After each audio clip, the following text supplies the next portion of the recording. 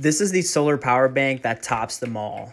You have your solar panel on top. You have your light on the side that can be activated just by double tapping right here.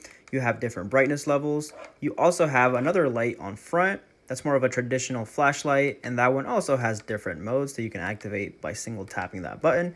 And if you look really close, you do have a laser built in, which is something you don't really see on any other power banks like this. They usually have the flashlight, the solar panel, but nothing like that. Pretty awesome. Now check this out.